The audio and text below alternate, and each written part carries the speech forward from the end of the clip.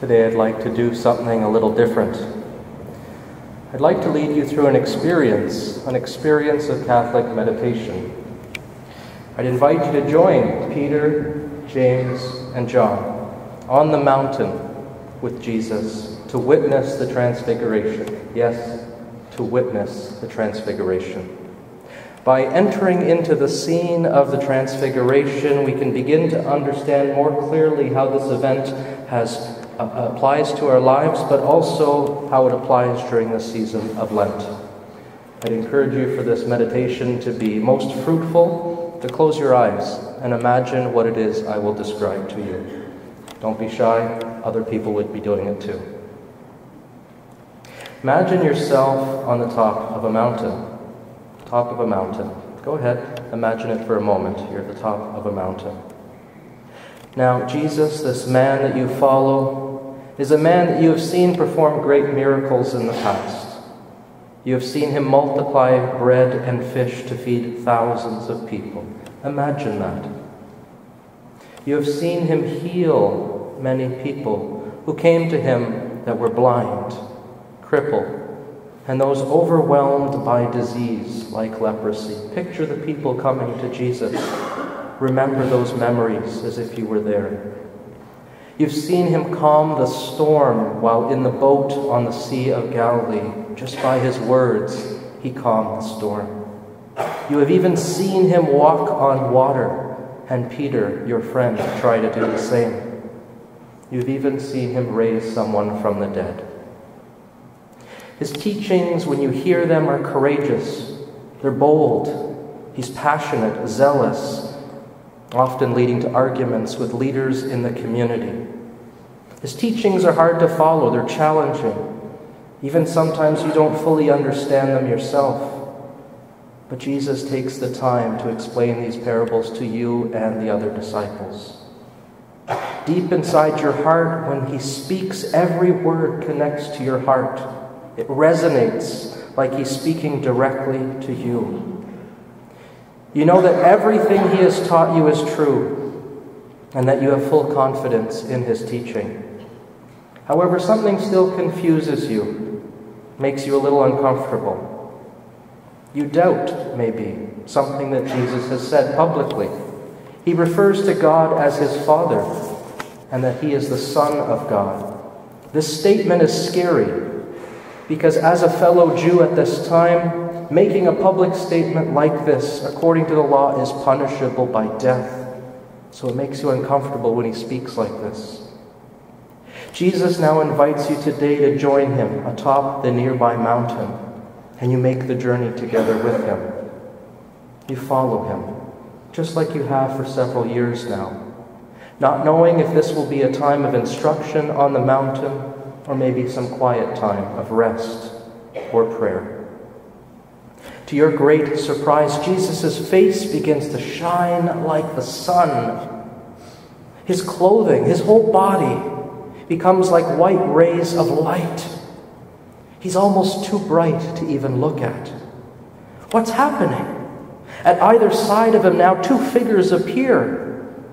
Who is this? Could it be? It's Moses. And the other, the other, it's, it's Elijah. How can this be? They've been dead for years. Suddenly, Peter, who's next to you, says with joy and excitement in his voice, Lord, it is good for us to be here with you. Inside, your heart is warm, full of excitement also. You echo Peter's words Lord, it is good for me to be here with you. Thank you for inviting me to join you in this special moment. You're happy. You're amazed at what you are witnessing. All of a sudden, a bright cloud covers everyone. You can hardly see. And you hear a loud voice that speaks This is my beloved Son, with whom I am well pleased. Listen to him.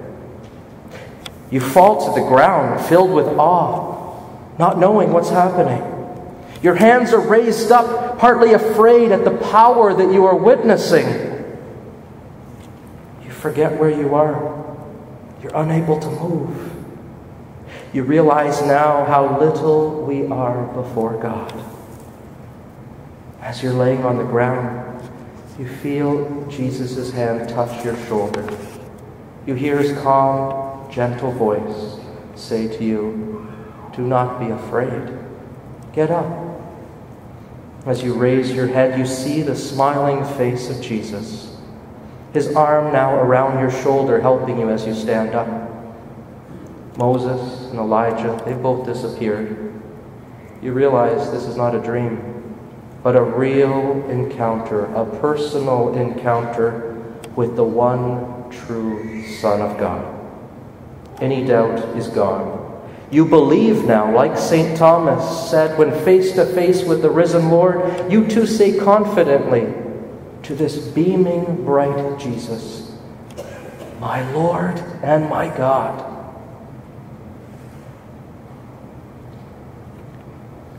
You can open your eyes now. Today's experience of the Transfiguration, it's a special moment. It's here that Jesus reveals his identity to us. In our minds, he has moved maybe from a miracle worker, a brilliant teacher, to the one true Son of God.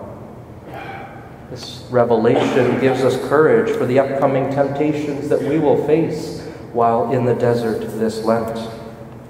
Jesus reveals his inner beauty and identity, his divinity. He gives us a glimpse of what he is calling each one of us to become. We too are called to be transformed more than just on the outside when we fast, when we pray, when we give alms this season of Lent. We are called to be transformed from the inside out. This is because, because God calls us, all of us, to greatness. He calls us to greatness. He calls us to a life that requires faith and courage. The teachings of Christ require not just a mere external observance, but rather a heartfelt cooperation. At this transfiguration, Jesus' inner beauty shone forth so much so that it transformed his outer appearance, revealing his divinity to us. We too are called to be transformed the same way in our lives. How does this transformation take place, you may ask? God told us himself in the loud voice from the cloud. It's even written in our Sunday missals. This is my beloved Son. Listen to him. Listen to him. God identifies Jesus. This is my Son. And he gives him the authority of all teaching so that there's no longer any doubts in our mind. The voice of God speaks directly to us today. We are the ones who seem to need reminding who Jesus Christ is. God reminds us a second time in this transfiguration event. Remember, the first time was at his baptism.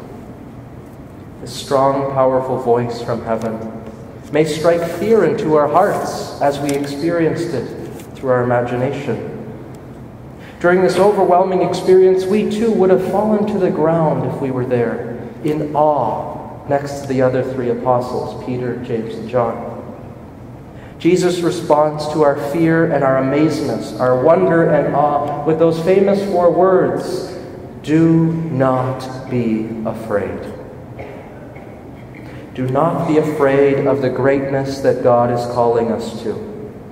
Do not be afraid of the transformation that will happen in your life when you follow Christ completely and not just on the surface.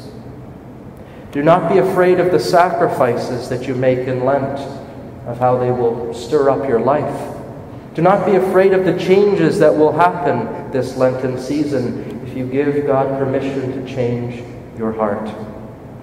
Do not be afraid when you hear the voice of God at the end of your life, when He says, This is my son, or This is my daughter, in whom I am well pleased. For it's on that day that you will be filled with a lasting and eternal joy, because you will be one with God in heaven. For all eternity. That's what we're made for. So as we continue our celebration today, Let's remember Peter's response that we heard at the Transfiguration when he said, Lord, it is good for us to be here with you.